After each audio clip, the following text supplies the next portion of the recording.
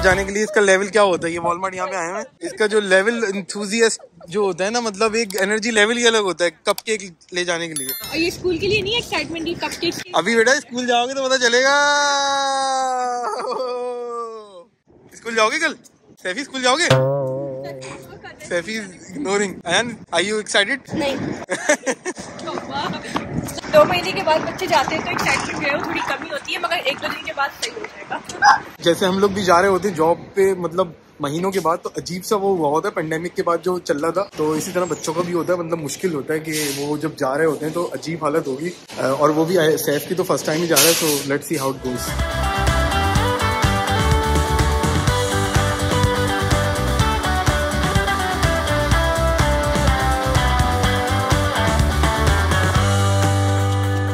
One hour later. ये देखो guys बड़ा वाला क्रिसमस ट्री लगा हुआ है एरिन मिल्स पे। हम लोग जाते थे बैंक टाउन में हमेशा क्रिसमस ट्री देखने के लिए तो वही वाले मोमेंट्स याद आ रहे हैं फ़ोटो शोटो ले रहे हैं शायद बच्चों की। वाकई याद आता है मॉल बैंक टाउन मॉल भी बहुत याद आता है, बहुत गए हैं।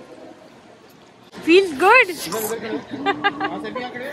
भजन अयान की जैकेट लेके निकला हूँ, देखो न्यू मेंबर्स को टेन परसेंट डिस्काउंट है और इन्होंने एच एस टी लिया है पाँच परसेंट तो पता नहीं कि इन्होंने किस हिसाब से लिया बट ये कि चल रहा है, यहाँ पे सब कुछ है।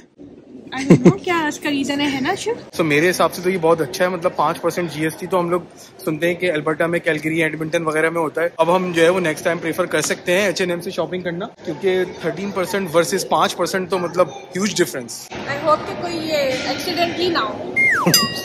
अगर एक्सीडेंटली भी हो तो चलो हमारा तो काम हो गया ना। अयान साहब मगर अब ये संभाल के रखनी है आपने नहीं तो जो है ना उल्टा करके ना बर्फ़ में जो है ना छोड़ दूँगा मतलब A few inches later. बाल कटवाने के लिए सस्ते एवेंस पे है यहाँ पे इक्कीस डॉलर की कट रहे हैं इंक्लूडिंग एच एस टी तो देखते हैं कि कैसे कटते हैं अयान तुम भी कटवा लो यार please are you ready for the cut are you feeling tired yes like a normal setting, not not too short. The size? Uh, comb over, comb over size? style, yes. How much the size? Um, I think Yeah. uh, not too short. What number? Uh, number three, I think. Three? Yeah, three.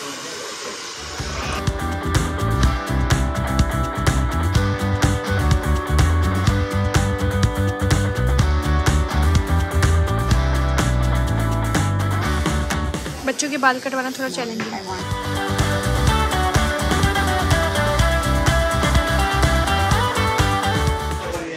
देखो उससे बातें कर रही है। बंदी जो है वो आंटी यमन की है और बता रही है कि जो है वो now Canada means more immigrant और ये वो सबको पता है यहाँ पे। बस बाल भी कट रहे हैं ट्वेंटी वन डॉलर्स के कट रहे हैं इंक्लूडिंग एच एस टी जैसे कि बताया। सही काट दिए बाल उन्होंने ठीक है not not too bad not very very good but not too bad comment से बताओ। देखो पता नहीं क्या क्या कहानी बता रही है, सना उधर की। दो औरतें, दो कहानियाँ और एक बच्चा उसमें पिसरा बैठा हुआ। आयंदा बाल कटवाने तुमने? कटवा लो ध्यान देखो अपने बाल छुपा रहा है। हम लोग अभी बचपन में ऐसे ही शौक होता था, बाल बाल बढ़ाने का। चलो, लगे रहो।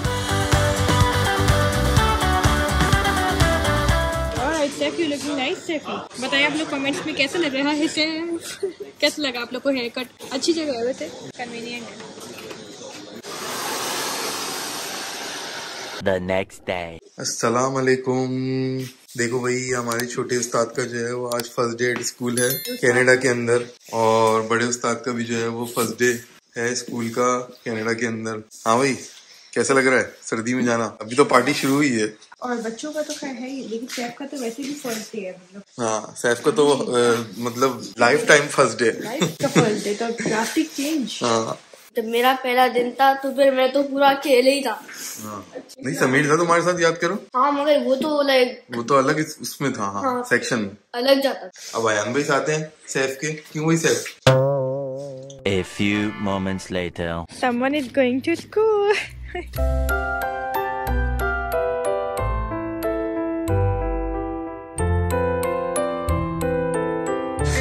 बच्चों की जैकेट पे प्लस बैग पे लंच बैग पे सब पे नाम लिख दिया है, क्योंकि जैकेट होने का डर बहुत ज़्यादा है स्पेशली हरान के मामले में। और ये देखिए, जब हम लोग यहाँ से गुजरते हैं रोड से पीछे से तो सब लोग रुक के इंतज़ार करते हैं नाइस ट्रैफ़िक सो इस वक्त कनाडा में टोरंटो के अंदर पाँच छह डिग्री हो रहा होगा। सुबह का टाइम है साढ़े आठ बज रहे हैं। मेरे बाल थोड़े अजीब से लग रहे होंगे बट ये है कि बच्चों को स्कूल छोड़ने जा रहे हैं अभी। आज डे वन है इनका फ़र्स्ट टाइम इन कनाडा और अल्हम्दुलिल्लाह सारा प्रोसेस बहुत स्मूथली हो गया था। तो उसकी डिटेल आपको अ, मतलब सना बताएगी क्योंकि प्रोसेस जो था एडमिशन प्रोसेस वो थोड़ा डिफरेंट होता है जो कि आज तक कभी किसी ने बताया नहीं था ये बात कि मतलब न्यू कमर के लिए किस तरह का होता है क्या क्या चीज़ें करनी होती है। लोग यही बताते थे कि हाँ स्कूल में ये मांगा वो मांगा। बट जो पीआर पे लोग आते हैं, उनका जो प्रोसेस होता है, वो एक डिफरेंट तरीके से होता है। कनाडा के अंदर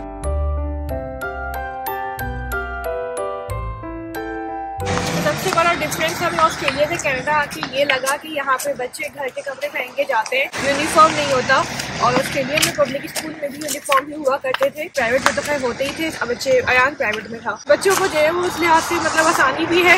मगर लोग कहते हैं कि आपको कपड़े बहुत सारे खरीदने होंगे तो हाँ it's kind of thing but या it's different that we felt here in Canada देखो, बड़ा रश हो रहा है हमारे मिल्टन के इलाके में। हर बच्चा जो है वो स्कूल जा रहा है अपने बच्चों को लेके। हर बड़ा मतलब। बच्चा नहीं, हर बड़ा। बहुत करीब है स्कूल तो देखो आ भी गया। वो हमारा चैंपियन जा रहा है यान।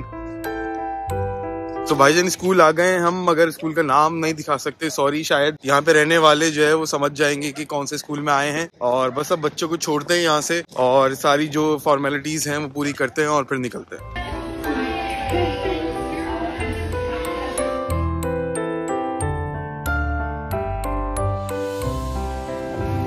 बच्चों को छोड़ दिया है दोनों बच्चों को अपनी अपनी जगह छोड़ दिया है और बता भी दिया है कि सैफ अयान का तो इतना मसला नहीं है is very confident but Saif थोड़ा शाय है उसका आज फ़र्स्ट डे है प्री स्कूल जो जिसको कहते हैं प्री किंडर गार्डन कह लो आप जून इसको यहाँ पे जूनियर किंडर गार्डन कहा जाता है ये डिफरेंस होता है वहाँ पे प्री स्कूल होता है यहाँ जूनियर किंडर गार्डन होता है सो so, बस अब हम लोग चल रहे हैं घर की तरफ़ पैदल पाँच मिनट की ही वॉक है हमारे घर से इस स्कूल की और बसेस यहाँ पे थोड़ी कम आती हैं स्कूल्स की नज़र कम आ रही है मुझे एनी एनीवे बहुत अच्छा स्कूल है दिखने में और हमारी काफ़ी कम्युनिटी भी है यहाँ पे। मतलब पाकिस्तानी कम्युनिटी बहुत है यहाँ और ये देखो यहाँ पे इस तरह की स्कूल बसेज होती हैं। सो so, जैसा कि आप तमाम लोगों को पता है कि हम कनाडा में बिल्कुल अकेले हैं हमारा यहाँ पे कोई करीबी रिश्तेदार या कोई अ, कोई ऐसा दोस्त या कोई ऐसा कोई वो बंदा नहीं है जो हमारी हेल्प कर सके सेटलमेंट के अंदर। तो ये जितने भी काम हैं स्कूल से रिलेटेड जॉब से रिलेटेड कोई भी जो चीज़ें हम कर रहे हैं अपने उनके ऊपर ही कर रहे हैं यहाँ पे मतलब कोई ऐसा वो नहीं जैसे ऑस्ट्रेलिया में मेरी फैमिली ने बहुत हेल्प की थी शुरू के सेटलमेंट टाइम में। और बस अल्हम्दुलिल्लाह जब हम लोग कर सकते हैं तो यार आप लोग भी कर सकते हैं। थोड़ा टाइम लगता है फिगर आउट करने में चीज़ें ऑब्वियसली तो कोई मसला नहीं है बट ये है कि ऐसा नहीं है कि आप लोग नहीं कर सकते, बिल्कुल कर सकते हो। जो लोग मतलब जिनके भाई बहन होते हैं, दोस्त रिश्तेदार होते हैं, वो लोग उनके घर में रह जाते हैं, वो उनको जो है वो काफ़ी फैसिलिटेट कर देते हैं हर मामले के अंदर, क्योंकि उनको पहले से सब चीज़ें पता होती हैं। जैसे हमें ऑस्ट्रेलिया के मामले में पता होती थी कि जो आता था, वहाँ पे हम उसको काफ़ी चीज़ें समझा देते थे बट यहाँ पे हमारी कोई मदद करने वाला नहीं है, सिवाय अल्लाह इसीलिए हम आप लोगों के साथ अपना शेयर कर रहे हैं, ये सारा experience from A to Z ताकि आप लोगों को भी अंदाज़ा हो जाए अच्छे से और आपको कोई गाइड करने वाला नहीं है या कोई सही गाइड करने वाला नहीं है तो आप लोग रियल कैमरे में देख सके और वीडियोज़ में देख सकें कि आखिर किस तरह थिंग्स वर्कआउट क्योंकि कनाडा में बहुत डिफरेंसेस हैं। बहुत लोग बोलते हैं ऑस्ट्रेलिया कनाडा में बिल्कुल सेम होगा। It's a bit different process इसका भी डिफरेंट है स्कूल का तो वील डिस्कस दैट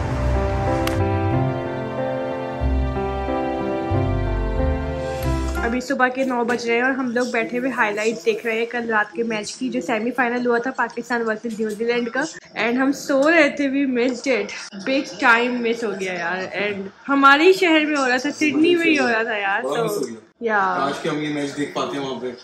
ग्राउंड में जाकर and congratulation to all of our Pakistani team हम जीत गए यार सेमीफाइनल सो गुड क्या पता फाइनल में भी हम ही जीतेंगे। Six hours later. Thank you से thank you to your teacher thank you so much You're welcome. Steffi आपका फ़र्स्ट डे कैसा रहा? डिड यू एंजॉय और not yes did you enjoy good and ये बताओ कि फ्रेंड्स बने कि नहीं तुम्हारे? स्कूल में? स्कूल में फ्रेंड्स बने? जी। वाह वही टॉयज थे आपके पास? टॉयज नहीं थे कोई? जी। अब आप कहाँ जा रहे हो? अपने भाई को लेने? स्कूल में अच्छा आप कल आओगे टुमारो टुमारो आओगे स्कूल? जी। वाओ इसका मतलब ने एंजॉय किया। अब बयान की बारी है आने की वेट कर रहे हैं। एंड फ़र्स्ट डे मैं आप लोगों को बताऊँ इसका तो किंडर गार्डन था जूनियर किंडर गार्डन एंड उसमें बहुत ज़्यादा उन्होंने अच्छे से ट्रीट किया। फीडबैक बहुत अच्छा मिला।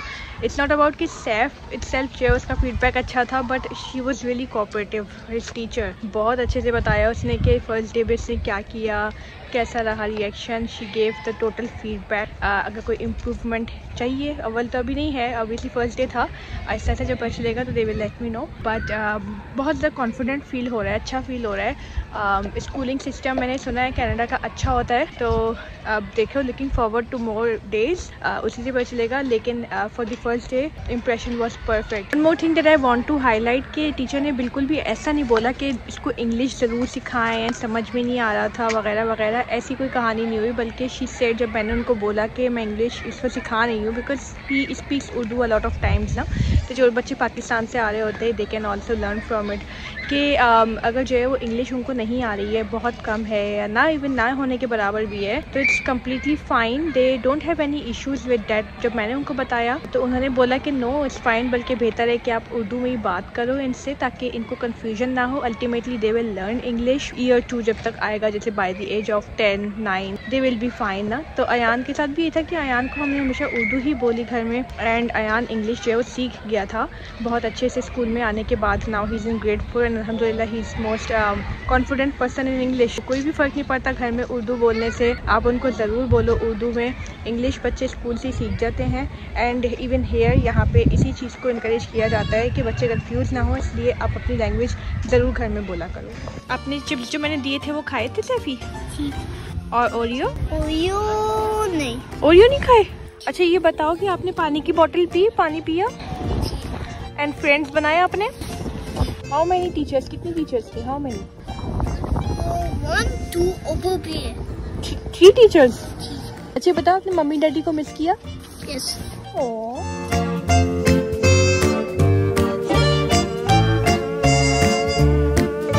फ्रेंड्स बने तुम्हारे कोई? हाँ. अच्छा कितने? हाउ मेनी तीन. अरे वाह टीचर अच्छी थी।